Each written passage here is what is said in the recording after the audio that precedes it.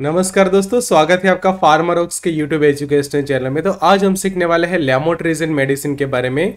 तो हम सीखेंगे उसके बेसिक यूज़ के बारे में कौन से अलग अलग मेडिकल कंडीशंस को लेमोट्रिजिन जो है वो ट्रीट करता है। जानेंगे उसके साइड इफेक्ट्स के बारे में, उसके डोज क्या है एंड वार्निंग एंड कॉन्ट्राइंडिकेशन की डिटेल स्टडी करेंगे। तो यहाँ पे जो हम देख रहे हैं कि टैबलेट का टाइप कौन सा है तो ये डिस्पर्जिबल टाइप के टैबलेट है।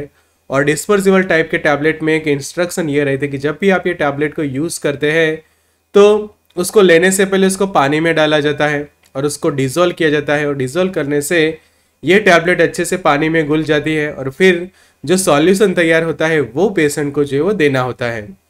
तो फार्मासिस्ट की यहाँ पे एक खास रिस्पॉन्सिबिलिटी रहती है ये डिस्पर्सिबल टैबलेट्स के लिए कि ये अच्छे से एक एडवाइस देनी होती है कि जब भी कोई पेशेंट ये डिस्पर्सिबल टैबलेट लेता है तो उसको डायरेक्टली ना खाए, उसको पहले पानी में डालें और उसका सॉल्यूशन के बनाने के बाद ही उसको जो है वो लेनी चाहिए।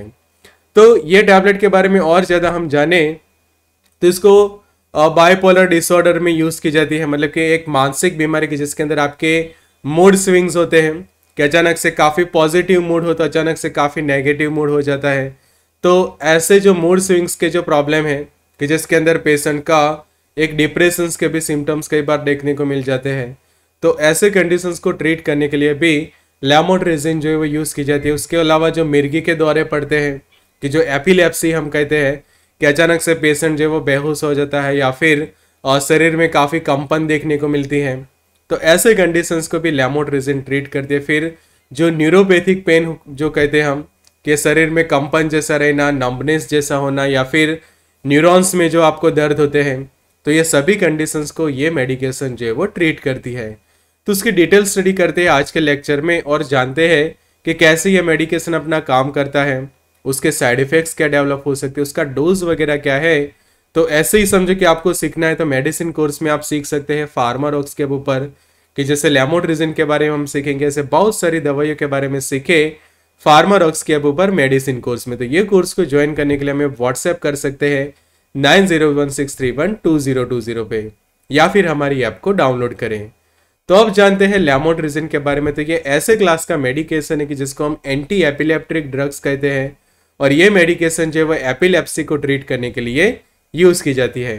एपिलेप्सी मतलब कि जो पेशेंट को मिर्गी के दौरे पड़ते हैं, अचानक से वो बेहोश आ जाता है, शरीर में कंपन देखने को मिलती है, कि जिसको हम सीजर भी कहते हैं। तो ये सभी कंडीशंस को ये मेडिकेशन ट्रीट करती है, और साथ ही साथ जो नर्व पेन के कंडीशंस को भी लेमोट्रिजिन जो है वो ट्रीट करता है। फिर जो नर्व पेन है एपिलेप्सी है bipolar disorder seizure disorder neuropathic pain या फिर जो डायबिटिक न्यूरोपैथी की जो हम कंडीशन कहते हैं तो ये सभी सिम्टम्स को ट्रीट करने के लिए ये मेडिकेशन जो है वो यूज़ की जाती है। तो अब समझते हैं बाइपोलर डिसऑर्डर के बारे में तो उसके अंदर इसका रोल क्या है? तो बाइपोलर डिसऑर्डर के जो सिम्टम्स होते हैं उसको ट्रीट करने के लिए ये मेडिकेशन यूज़ की जाती है। जैसे कि ये एक मानसिक बीमारी है। अचानक से पेशेंट के जो वो मूड जो में स्विंग्स होता है मतलब कि मूड में बदलाव जो वो देखने को मिलता है। फिर रोगी की जो मनोदिशा जो है, वो दो विपरीत अवस्था में बदलती रहती है। दो विपरीत अवस्था मतलब कि अचानक से काफ़ी पॉजिटिव मूड या फिर अचानक से काफ़ी नेगेटिव मूड हो जाता है। मतलब कि बाइपोलर डिसऑर्डर देखने को मिलता है। कि अचानक से काफ़ी हैप्पीनेस है तो अचानक से काफ़ी सैडनेस में चला जाता है पेशेंट तो ये कंडीशंस को भी, ये मेडिकेशन जो है वो ट्रीट करती है। फिर उसके लेबल के बारे में हम सीखे तो लैमीटर डी टी फिफ्टी यहाँ पे एक उसका मार्केटेड फॉर्मुलेशन की हम यहाँ पे स्टडी कर रहे थे उसमें आप देखो कि जो स्ट्रेंथ है वो 50 मिलीग्राम की है। फिर लैमोड्रेजिन के जो डिस्पर्जिबल टाइप के टैबलेट हैं। फिर यहाँ पे डायरेक्शंस देखनी ज़रूरी है कि सिड्यूल एच रखे मतलब कि जब भी उसको रिटेल में बेचा जाता है तो प्रिस्क्रिप्शन के साथ ही बेचा जाता है। टॉरेंट फार्मास्यूटिकल उसके जो है, वो मैन्युफैक्चर है। और लाइट से उसको प्रोटेक्ट करना होता है मॉइस्चर से प्रोटेक्ट करना होता है। और स्टोरेज जब करो तो टेम्परेचर जो है तीस डिग्री से ज़्यादा जो है, वो नहीं बढ़ना चाहिए। और दूसरी कंडीशन हम देखें तो यहाँ पे उसका आलू आलू पैकिंग है। और जो पैकिंग के ऊपर भी प्रॉपर हम देखें तो डिटेल में सब इंस्ट्रक्शंस जो आपको देखने को मिल जाते हैं। कंपनी का ब्रांड नेम है सॉल्ट कंटेंट क्या है।